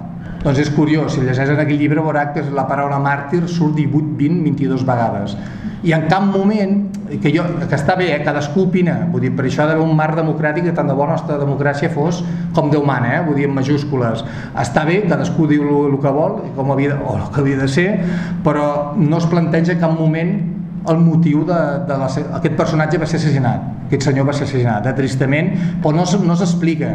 Diu molt que abans de, de morir, de ser fusellat va perdonar els seus butxins, etc però cap moment explica. I és curiós perquè sí que dona informació sense explicar-ho Pensin que durant els anys 30 eh, la politització de la societat reusenca, catalana i espanyola era bastant accentuada, vull dir, era molt important i la pugna política era encesa. Eh? Pensin que les campanyes electorals que vivim avui en dia, comparant les d'aquella època, no tenen color. Eh? Si avui en dia veiem 10 o 11 cartells, me diran sí que hi ha internet i la tele. En aquella època se penjaven 15.000 cartells i diuen que la plaça Prima estava tot amb... Saben com els anys de transició? Jo no els vaig viure, vaig veure alguna fotografia, les columnes de la plaça Prim plenes de cartell. Doncs als anys 30 la cosa encara era pitjor, eh? i el debat polític era molt més accentuat. Doncs era un debat uh, hi havia un context d'enfrontament polític molt accentuat, dretes, esquerres, naturalment no hegemòniques, eh? vull dir que molt, molt, molt plural tot plegat, i és curiós, les esquerres, eh, Reus i els avanço, durant els anys 30, durant les eleccions democràtiques, durant la Segona República, Reus va ser majoritàriament una comunitat, una col·lectivitat, ara sí que estic generalitzant, d'esquerres, liberal, republicana i catalanista. Només cal de veure els resultats electorals. I s'estava dient això perquè els partits de dreta que existien a Catalunya, allà a Reus, tenien la seva acció, anaven fent la seva tasca, fent conferències, però comparat amb els partits d'esquerra, si els partits d'esquerra feien 10 conferències, com la que estem fent nosaltres, els partits de dretes només en feien una. Vull dir, la proporció és molt curiosa eh, d'activitat. I em diran, perquè no hi anava gent? No, mentida naturalment que tenia la seva parròquia i anava gent. Saben per què? La raó? Perquè el paper que feia, el, el paper que feia tot aquest teixit associatiu per les esquerres, amb el camp dretà hi havia l'església darrere al voltant de l'església durant els anys 30 hi havia, per exemple, una entitat que era Acció Catòlica. I em diuen que es dedicava a Acció Catòlica, aquí a Catalunya, que es, que es dedicava a Acció Catòlica, Acció Catòlica. Doncs fer, ja s'ho pot imaginar, no?, que feien doncs, propaganda favor de les idees catòliques. Doncs aquestes idees catòliques feien campanyes, etc cap als crius, etc i un dels impulsors, naturalment, va ser el senyor Bonet veuen per on vaig, no? Vull dir que durant els anys 30 a Reus, segons quins sectors, més exaltats naturalment, van identificar el Jocum Bonet com un dels pilars d'aquesta acció catòlica que la defensava l'oligarquia, els privilegis de la minoria. M'entenen, eh? Estic fent una mica, intento posar la pell de, de les persones d'aquell temps. Um, per anar acabant, amb tres reflexions més ràpides. Abans els deia que tot va començar amb supremacia militar, es van armar, les forces obreres van ocupar el carrer, l'Estat va fer fallida i això va fer possible el procés revolucionari. Um, me diran, la CNT, o és el que esté entès, la CNT va prendre el poder, la CNT era tot, ho tenia absolutament tot. Mentida, això no és així tots els, òrgans de govern, el Jaume ha anomenat el comitè antifeixista. Uh, va haver un període, que és del juliol del 36 fins al setembre-octubre setembre, del 36, que es coneix com a dualitat de poders a Catalunya. Per què? Perquè d'una banda hi havia la Generalitat de Catalunya, amb Lluís Companys com a president, que no el van, no el van expulsar els anarquistes al poder, això ja ho diu tot, tenia bastant bona relació dintre de tot. De jove el, Lluís Companys va ser un advocat laborarista, i va defensar molt d'aquests futurs eh, militants anarquistes i l'altre poder que hi havia era tots aquests comitès antifeixistes que es van multiplicar per la geografia catalana i l'òrgan central era el, el, el comitè central de milicis antifeixistes i em diran, hi havia aquestes dues dualitats, xocaven els poders, naturalment, hi havia topades, eh? Vull dir, com si hi ha dos òrgans que creuen que tenen el poder, hi han topades. Però la gràcia de tot plegat, quin és? Que els òrgans revolucionaris no van ser imposats per la CNT pels anarquistes, sinó va haver un pacte va haver un pacte, es van seure a una taula, hi havia Esquerra Republicana, hi havia el PSUC, el Partit Socialista Unificat de Catalunya, de recentment creació, que, feia 4 o 5 dies que s'havia a 23 de juliol, hi havia l'UGT, el sindicat també socialista barra comunista, hi havia els anarquistes, i que, que van quedar al marge, únicament van quedar al marge els independentistes d'estat català. Són els que tothom els tenia una mica de tírria, que també té una explicació, i els van deixar a banda. Van pactar, és a dir, que el procés revolucionari del 1936 no és obra de la CNT i la CNT la millor i la que ocupava. Sí que la CNT era la força, podem dir, majoritària, amb més protagonisme, potser amb més capacitat de lluita, però va ser fruit d'un pacte. I fins i tot, si llegeixes els comitès, les, les reunions i tot, el Lluís Companys s'hi va trobar a gust, va permetre. Eh? Aquí hi ha la trampa, que si els deixes fer la revolució, mentrestant nosaltres anem agafant força. Eh? Vull dir també té una altra lectura. I la raó, eh, me diran, per què es va fer un pacte? Si la CNT tenia tantes armes, tants homes, per què no van ocupar el poder? Jo crec que aquest és un dels claus dels, dels interrogants eh, de la guerra civil a Catalunya. Jo crec que és canviat tot. Bàsicament perquè la CNT, el sindicat anarquista, anarcosindicalista, no tenia projecte propi no teníem projecte, saps? no teníem dient ocupem el poder, farem això, tindrem aquests òrgans, farem. No el tenien, no s'ho havien plantejat. Teníem molta capacitat de lluita, però no s'ho havien plantejat.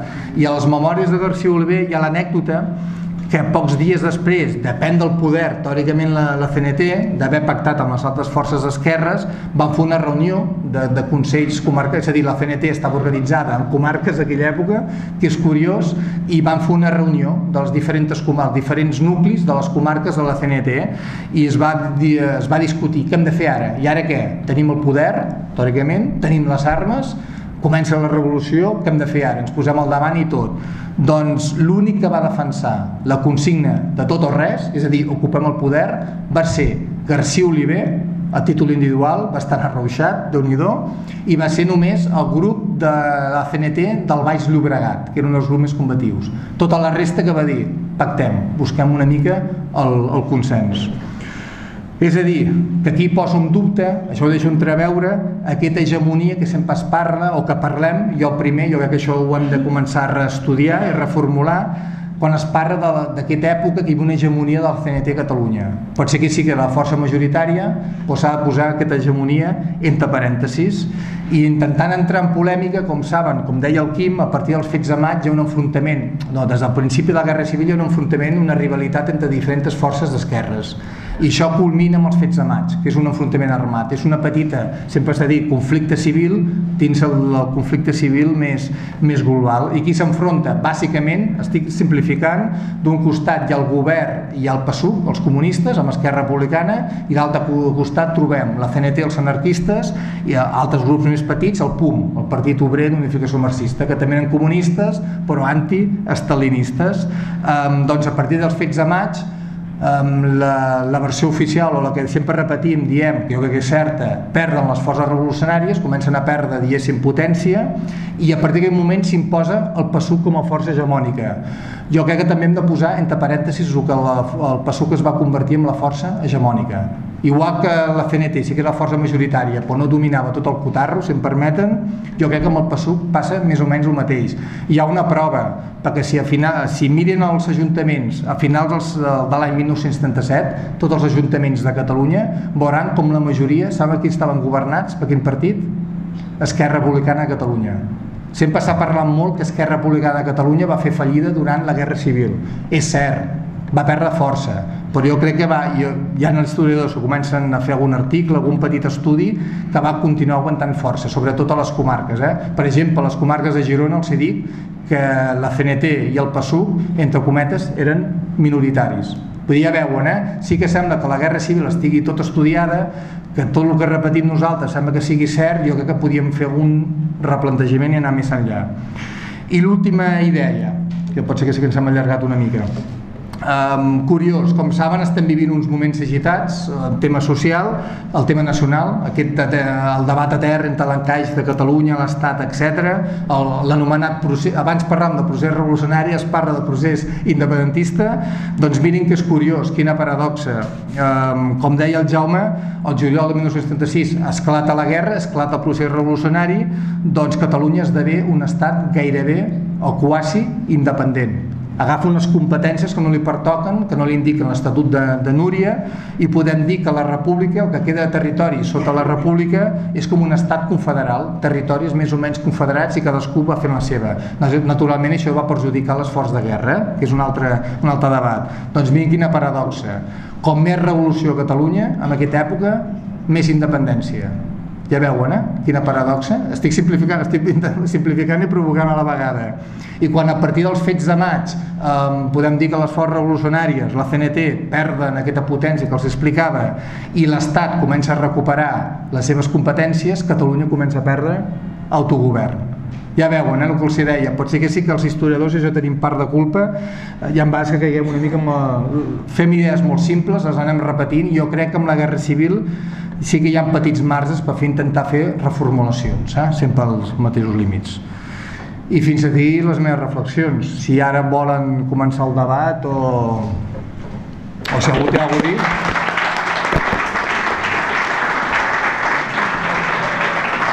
Per, per parlar Civil de les circumstàncies, seria no és xerrada, eh? de fer un seminari d'uns quants mesos. Eh?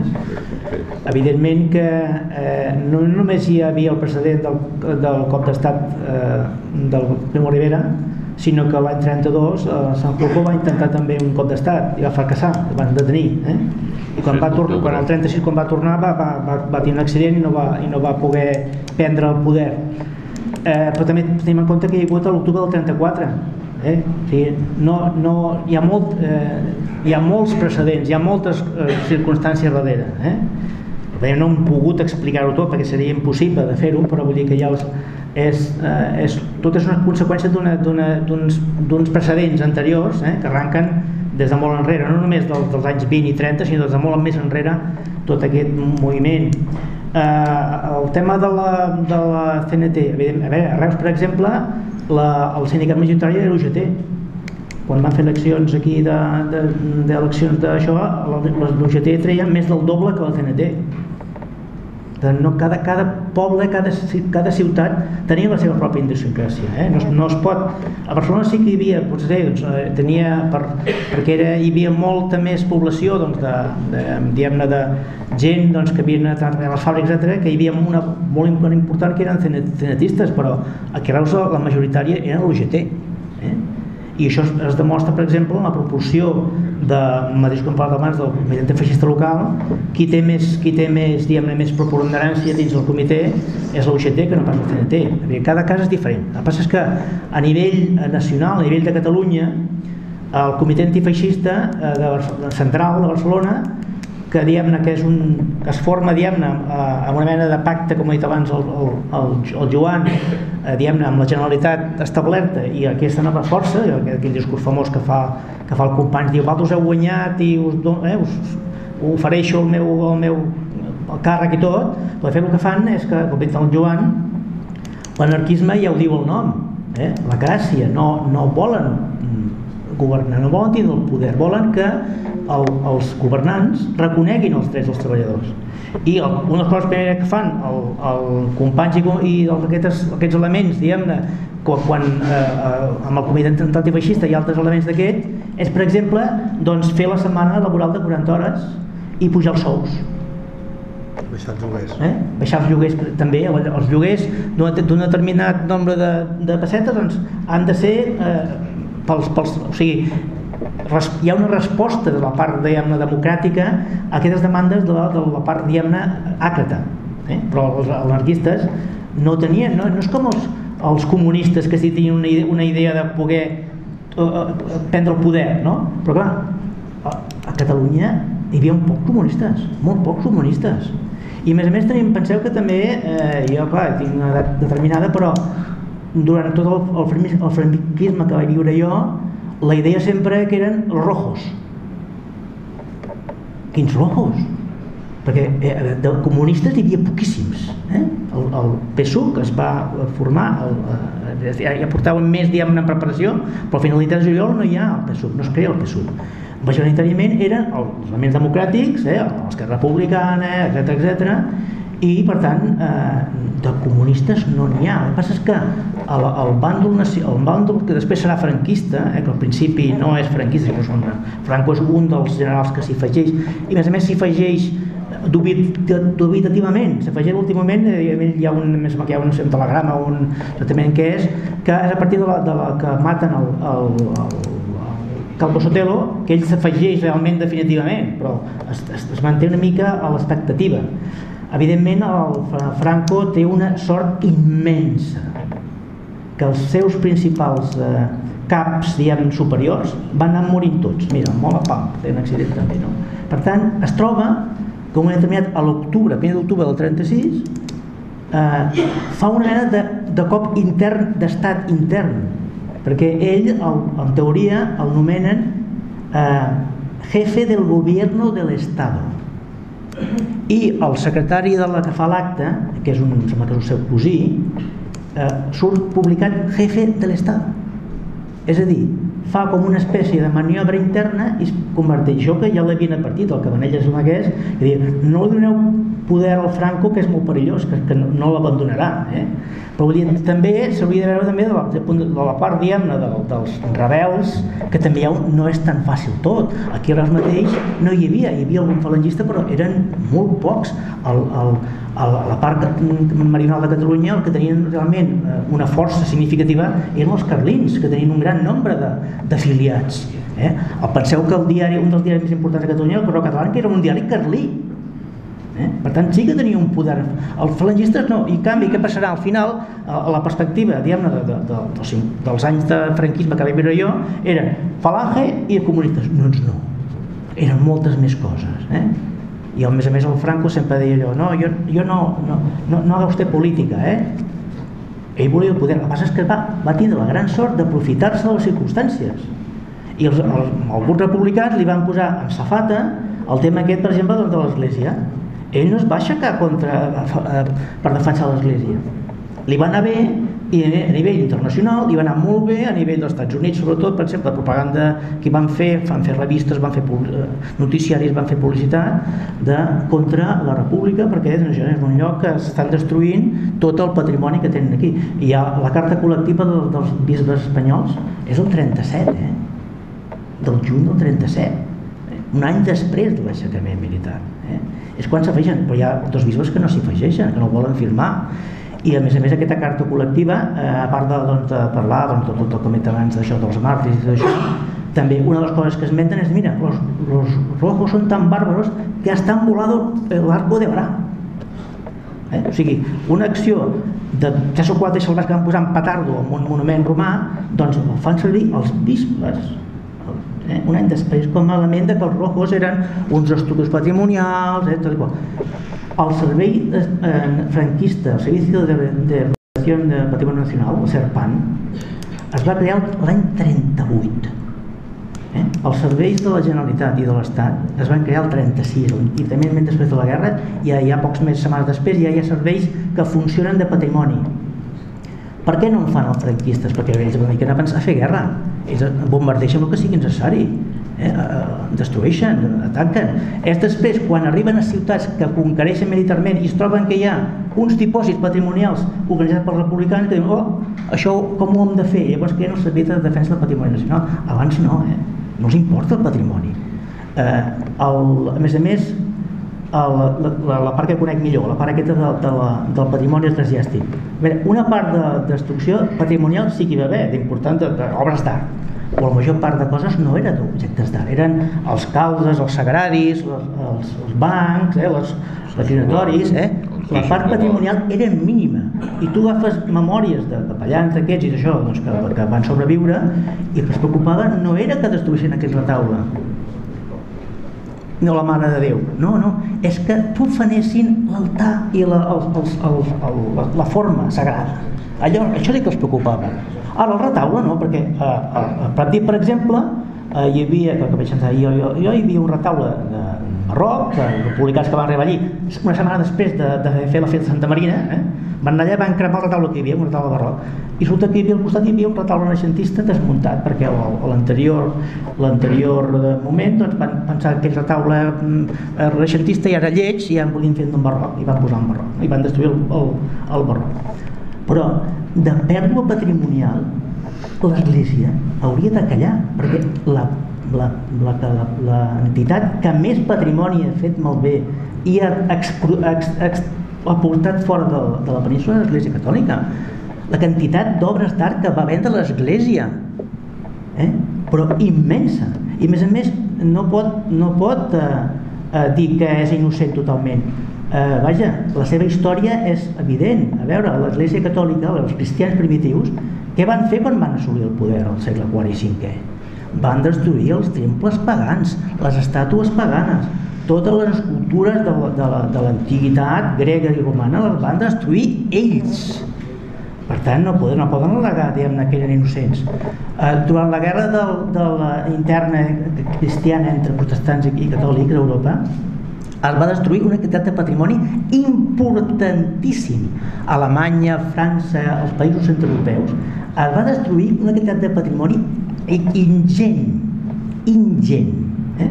Per què? Per una cosa que uns eren anti-iconoclastes. Eh? Els, els, protestants diuen, no, aquestes imatges no. Per tant, destruïen imatges i retaules ho feien ells mateixos. Ara, si ho fa un republicà, llavors sí que és una cosa de lletja. Eh? Per tant, s'ha de tindre en compte això també, que, això no ho tenen en compte. I a més a més, eh, ha dit que, i després de la guerra van continuar venent, eh? venent objectes d'art tranquil·lament.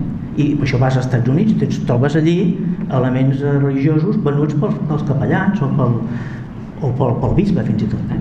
I encara ja avui en dia, sabeu que veu ara la premsa últimament, que hi ha el tema aquest de Sixena, no? Sixena era, era un convent que estava totalment eh, desamortitzat, que estava abandonat, que estava eh, malmès, i la Generalitat Republicana, amb, amb aquesta actuació de les milícies, diguem-ne, que van anar al front, evidentment que van anar al front sense preparació militar, perquè no eren soldats, van fer, eh, feien maniobres d'una manera insensata. Tu, tu, tu mires i dius, com és que, que feien aquest tipus de guerra? Eh?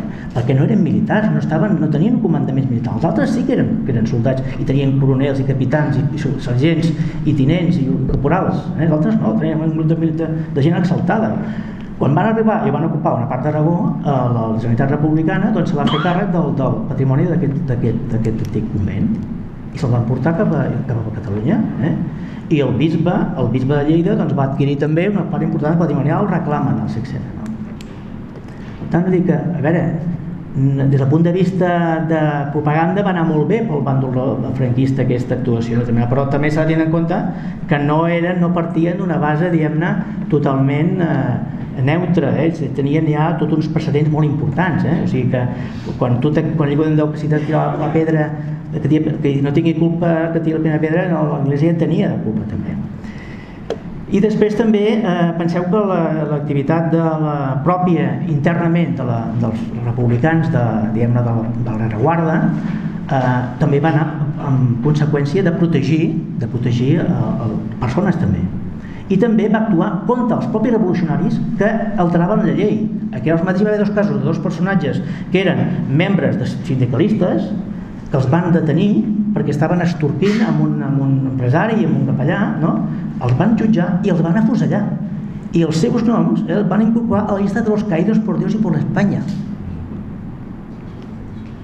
El monument als màrtirs, el monument als màrtirs era un monument que estava previst de fer abans de la guerra, el monument als màrtirs de la guerra de la primera guerra carlina, eh?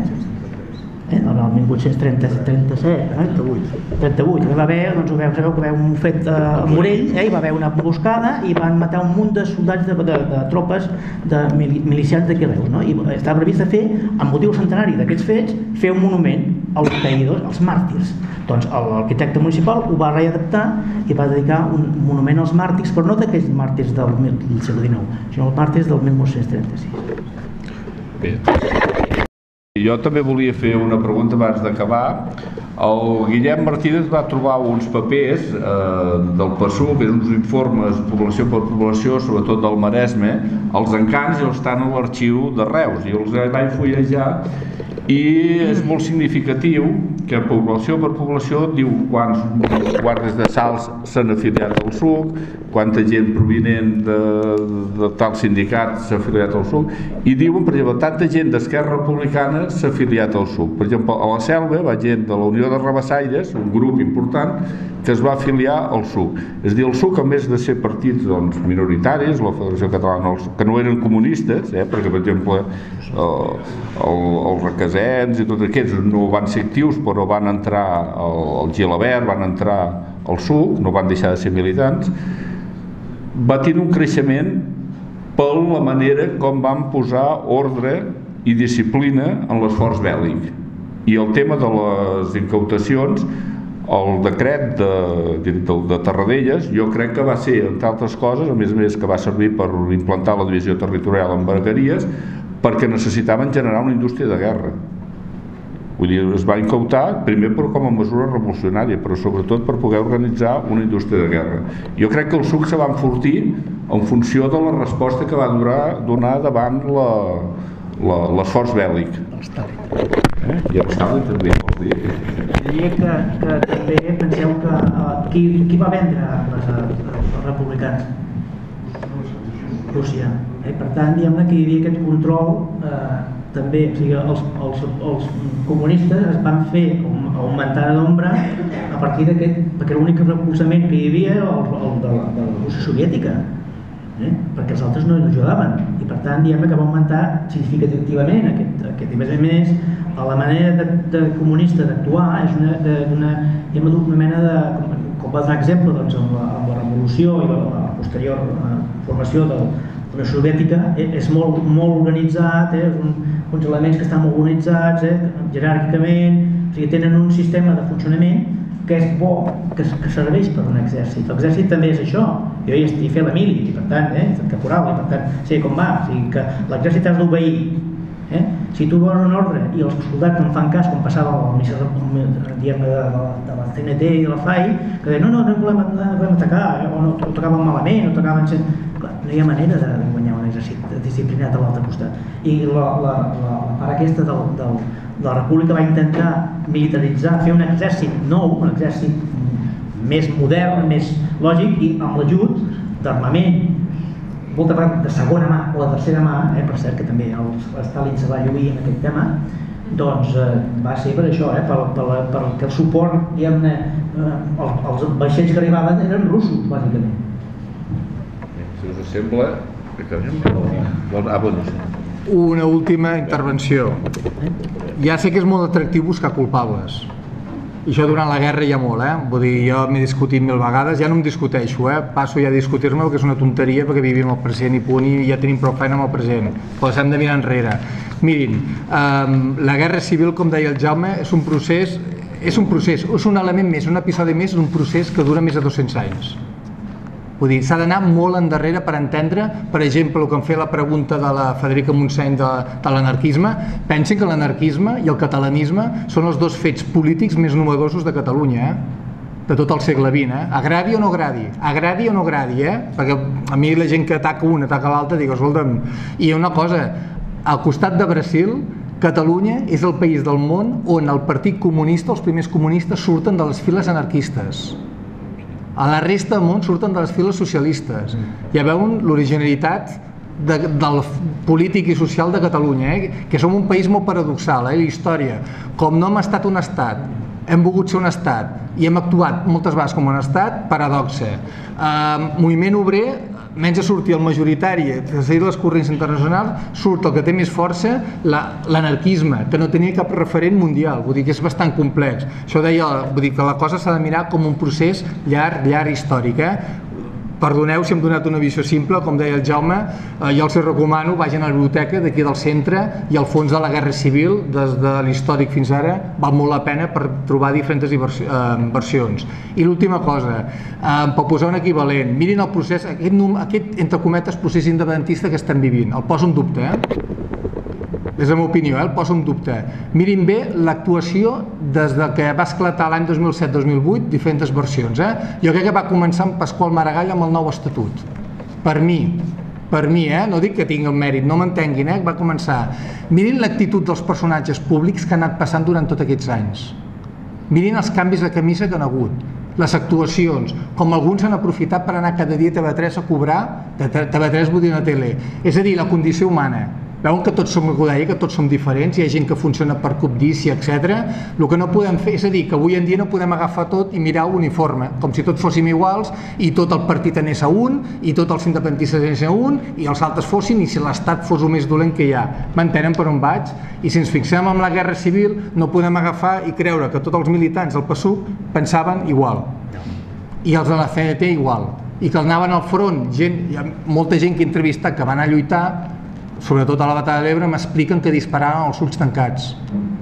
Jo m'ho crec, perquè havien d'estar collonits el que em passaria a mi si em fotessin amb 18 anys, amb la calor que feia a la Serra de Cavalls l'estiu del 1938. Vull dir que sí que està bé el de la història, però fixin el que passa avui en dia, perquè no oblidem que sí que ha passat 80 anys, però el protagonista de tots els fets històrics són les persones, les persones, eh, amb tots els seus defectes, mantenen per on vaig, vull dir que està molt bé la ideologia, la bandera, els sentiments, però hi ha la persona, eh? vull dir que és l'element protagonista com avui en dia de fa 80 anys. M'he explicat, crec, no? O no ho sé ara.